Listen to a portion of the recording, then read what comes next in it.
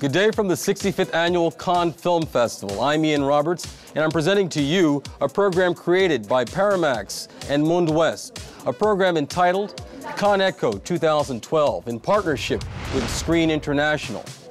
In our program, we have a unique opportunity to take a look into the world of film finance.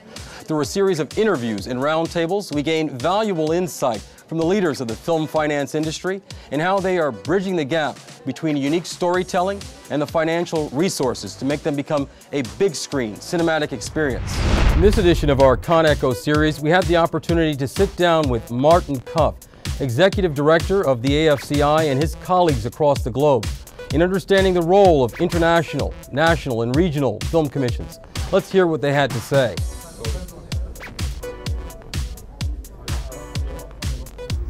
My name is Martin Cuff, and I am the executive director of an association called the Association of Film Commissioners International.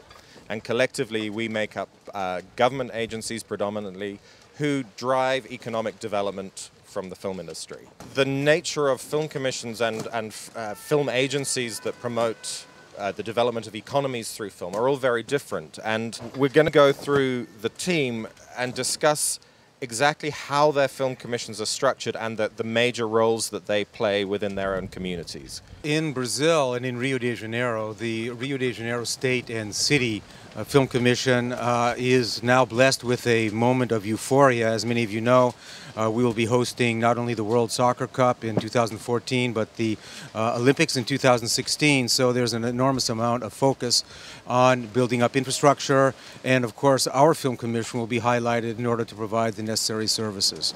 Um, our commission is also very dedicated to making sure that economic development is expanded outside the city of Rio de Janeiro and into the municipalities, and we've created a network uh, with eight so far municipalities throughout the state in order to promote those municipalities internationally as well.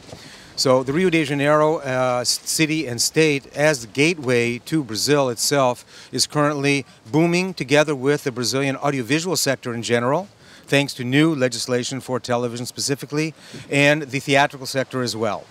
The Olympics is always a really um, interesting. We, we have obviously many members from around the world who have had uh, soccer World Cups, Olympics. You've got, got, the double whammy of both.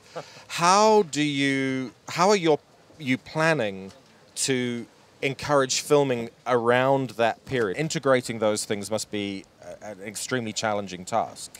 Uh, yes, and, and fortunately, we are uh, learning from the lessons of London right now, as a matter of fact. And thanks to our international uh, agreement between Film London and our Film Commission, we are uh, receiving a type of transfer of technology uh, in order to help us prepare in Brazil for what London is actually going through right now in the next few months. We also have some other mega events that are coming up right now, so it'll be kind of a trial period. We have next month the, a huge ecological summit called the Rio Plus 20 event, which will be a kind of a preparatory uh, experience for us as we learn how to deal with crowds and where off-limit filming and journalistic crews can um, can do their business. But I believe that by the time the, the World Soccer Cup rolls around, we will be ready. Thank you for watching our Cannes Eco 2012 series.